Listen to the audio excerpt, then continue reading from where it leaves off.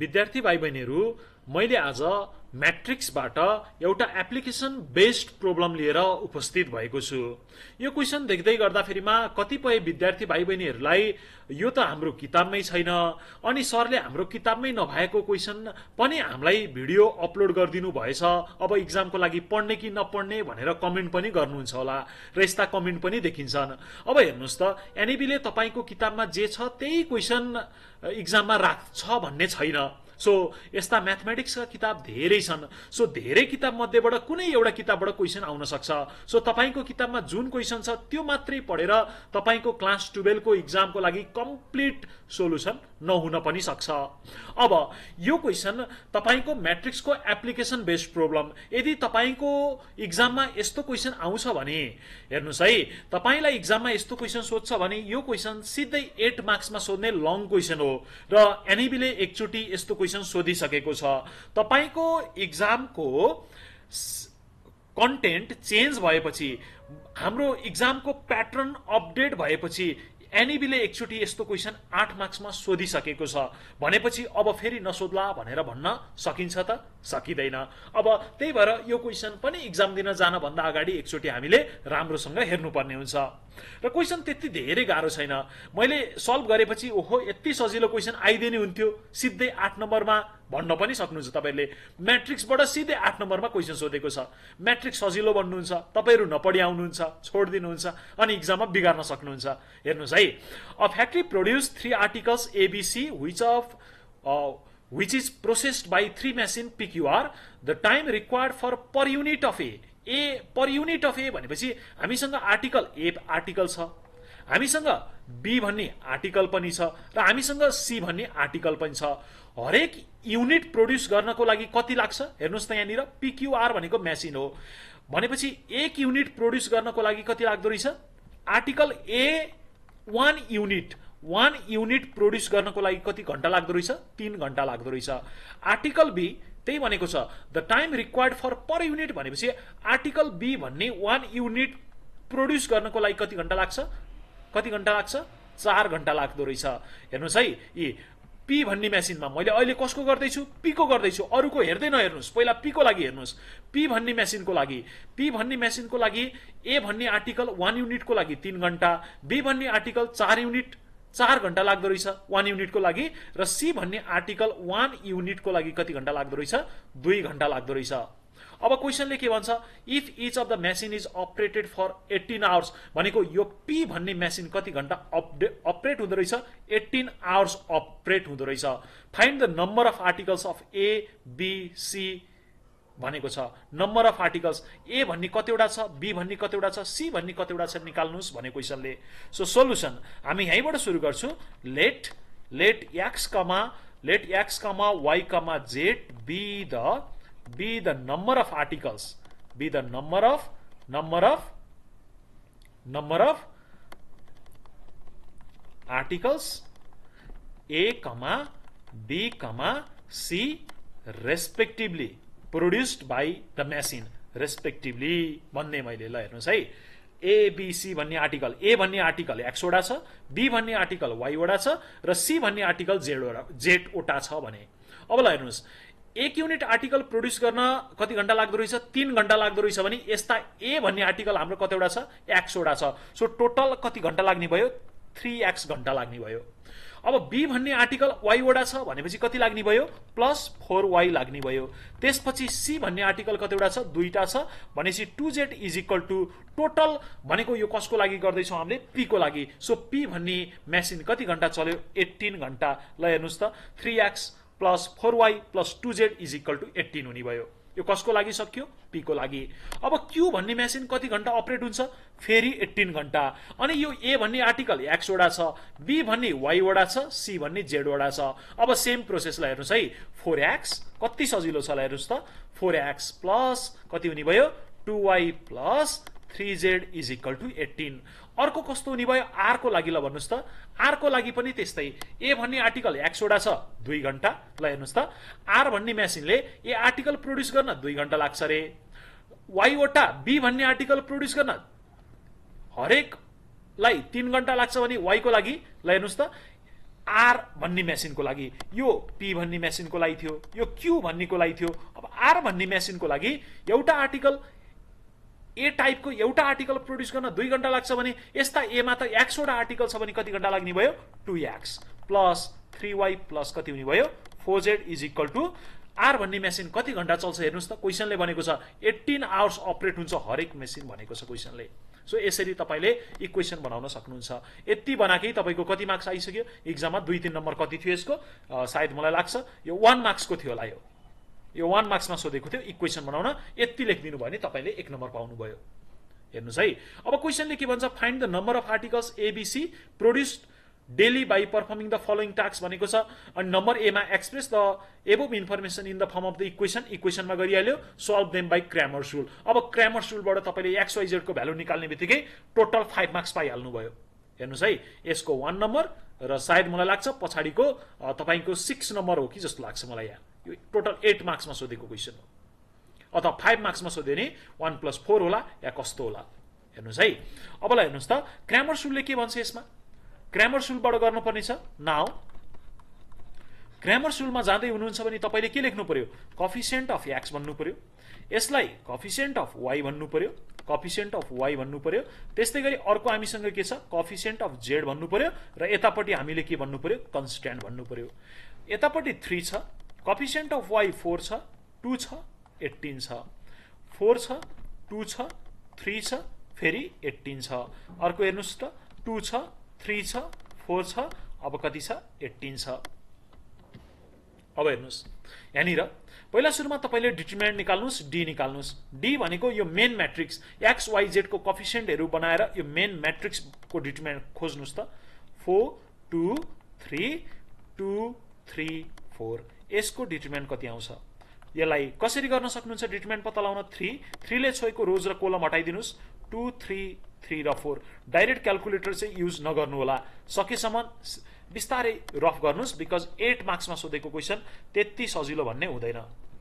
सिधै क्यालकुलेटरमा गरिदिनु भयो भने फेरि कम्प्लिट मार्क्स नआउन पनि सक्छ इक्जाममा फोर टू टू र थ्री छ यहाँनिर अब हामीले यसलाई के गर्न सक्छौँ? थ्रीको थ्री छ। एन्सर कति हुन्छ? फोर टू जा एट माइनस थ्री थ्री जा नाइन माइनस फोरको फोर चार चौको सोह्र माइनस तिन दुना छ। प्लस टूको टू चार त्यहाँ बाह्र माइनस दुई दुना चार। कति आउने भयो? एट माइनस नाइन भनेको यो माइनस थ्री माइनस दस चौको चालिस अनि त्यसपछि यो प्लस कति हुन्छ? बाह्र माइनस चार भनेको आठ आठ दुना सोह्र। हेर्नुहोस् है। अब यसको value. Minus three minus fourteen minus three minus forty plus sixteen कति हुन्छ? तपाईँहरूले क्यालकुलेटरबाट गर्न सक्नुहुन्छ। ल क्यालकुलेट गर्नुहोस् त तपाईँहरूले। कति हुन्छ? Minus three minus forty minus three minus forty अनि त्यसपछि हामीसँग कति छ? प्लस सिक्सटिन छ। र यो भनेको कति आउँछ तपाईँहरूको भ्यालु? माइनस ट्वेन्टी सेभेन भेट्नुहुन्छ होला। ल डी आयो। त्यस्तै गरी तपाईँले डिएक्सको भ्यालु कति निकाल्न सक्नुहुन्छ? डिएक्स ल भनिदिनुहोस्। डिएक्स डिएक्सको भ्यालु कति आउँछ? डिएक्स भन्यो भने के गर्नु पर्यो? तपाईँले यो कोलम फर्स्टलाई छोडेर कोलम फर्स्टलाई कसले रिप्लेस गर्ने भयो? एट्टिन। एट्टिन र एट्टिन कन्सट्यान्ट पार्टले रिप्लेस गर्ने भयो अरू as it is four two three two three four हुने भयो। र यसको भ्यालु कति हुन्छ हेर्नुहोस् त। यो eighteen two three three four minus फोरको पालो। फोरले छोएको एट्टिन र एट्टिन अनि त्यसपछि थ्री र फोर अनि त्यस्तै गरी हामीसँग अर्को के छ यहाँनिर? प्लस प्लस टूको पालो टूले छोएको एट्टिन एट्टिन टू र थ्री हुने भयो। र अब यहाँ सो एट्टिन भनेको एट्टिन हुन्छ चार दुना आठ माइनस तिन थिया नौ। माइनस फोर अठार चौको कति हुन्छ हेर्नुहोस् त? एट्टिन फोजा कति हुन्छ? आठ चौको बत्तिस। एट्टिन फोजा। एट्टिन फोजा कति? खै त भन्नुभएको? Seventy two minus eighteen three जा कति हुन्छ? फिफ्टी फोर एट्टिन थ्री जा फिफ्टी फोर फर्मुलाको प्लस टूको टू छ एट्टिन थ्री जा fifty four minus eighteen two जा थर्टी सिक्स। र अब यसको भ्यालु यो माइनस एट्टिन यो बहत्तर माइनस चौन्न बहत्तर माइनस चौन्न अनि त्यसपछि यो भनेको कति हुन्छ? एट्टिन इन्टु फोर भनेको eighteen फोजा one hundred forty four eighteen फोजा seventy two नै होला। हेर्नुहोस् है। बहत्तर माइनस चौन्न गर्नुहोस् अठार आउँछ सो अठार चौको कति हुन्छ? बहत्तर सो माइनस सेभेन्टी टू प्लसको प्लस छ so fifty four minus thirty six fifty four minus thirty six भनेको कति हुन्छ? एट्टिन एट्टिन टू जा कति हुन्छ? Thirty six. र यसको भ्यालु कति हुन्छ? ल हेर्नुहोस् त। यसको भ्यालु डिएक्सको भ्यालु माइनस अठार माइनस बहत्तर र प्लस थर्टी सिक्स भनेको कति हुन्छ? Minus fifty four. हेर्नुहोस् है डिएक्सको भ्यालु यसरी निकाल्न सक्नुहुन्छ। अब त्यस्तै गरी तपाईँले डिवाईको भ्यालु पनि निकाल्न सक्नुहुन्छ। डिवाईको भ्यालु डिएक्स पछि डिवाई सो डिवाईको भ्यालु कति हुन्छ? यसै गरी डिवाई डिवाई भनेको थ्री फोर टू जस्ताको तस्तै लेख्नु पर्यो। थ्री फोर अनि टू अनि त्यसपछि हामीसँग कति छ? डिवाई कन्सट्यान्ट पार्टले आएर यसलाई रिप्लेस गर्छ। यो एट्टिन यो एट्टिन यो पनि कति हुने भयो? एट्टिन हुने भयो। र अर्को पार्ट भनेको टू थ्री फोर छ। सो टू थ्री फोर लेख्नु पर्यो। Two three four two three four यसको भ्यालु निकाल्नुहोस्। कति आउँछ निकाल्नु त यसको भ्यालु यो भनेको थ्री थ्रीले छोएको रोज र कोलम एकदम फास्ट गर्नुहोस् है। एट्टिन थ्री डाइरेक्ट चाहिँ नलेख्नु फेरि। तपाईँले डाइरेक्ट लेख्नुभयो क्यालकुलेटर युज गर्नुभयो नि तपाईँको इक्जाममा मार्क्स आउँदैन। So eighteen four three two र फोर त्यस्तै गरी प्लस टूको लागि कति हुन्छ? फोर एट्टिन टू र एट्टिन हुने भयो। अब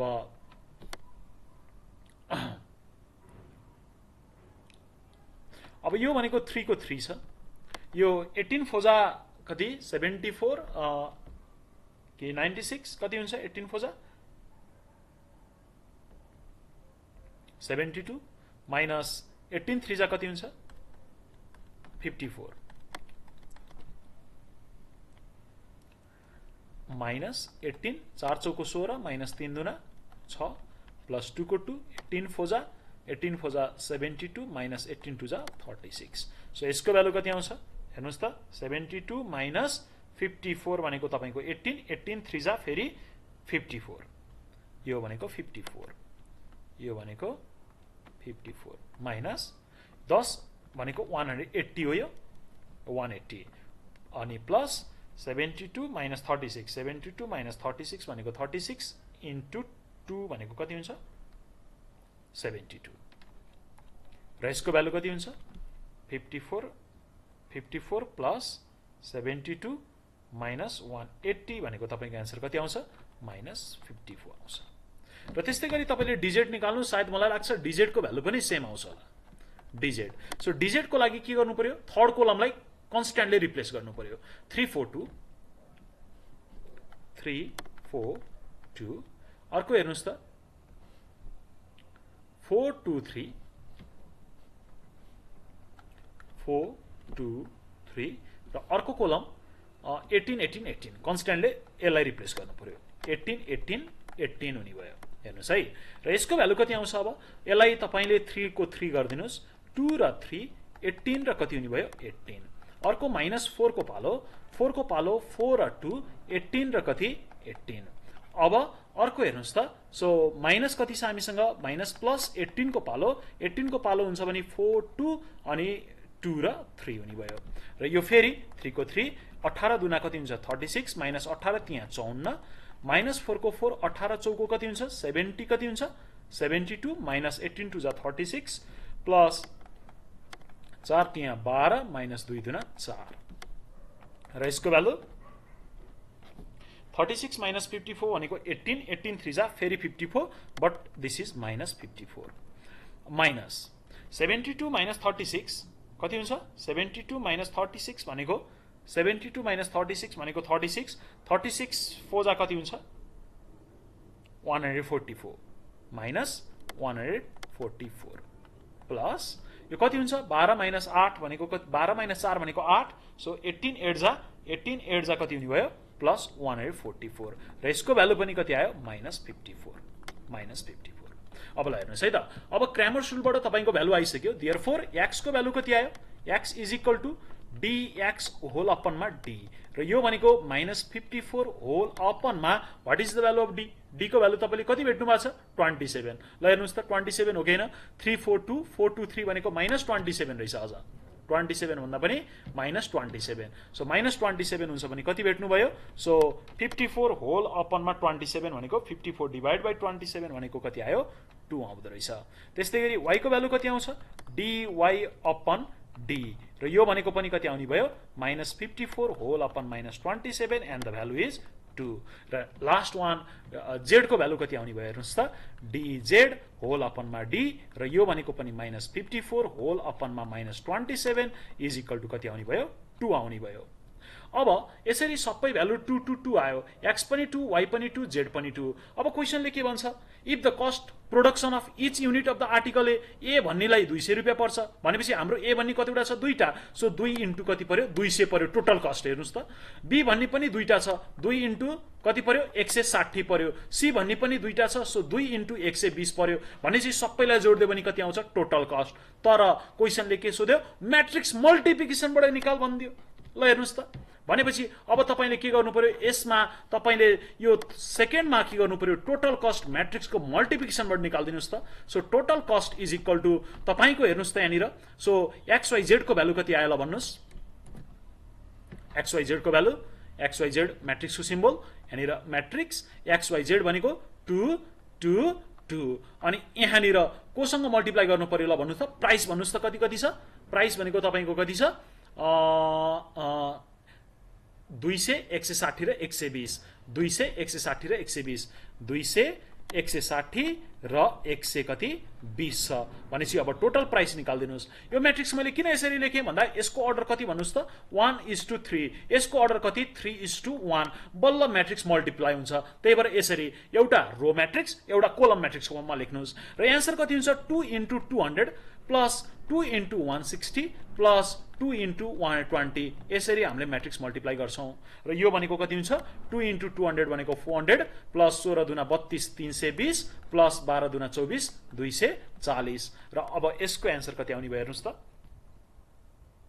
तपाईँको एन्सर कति आउँछ यहाँनिर?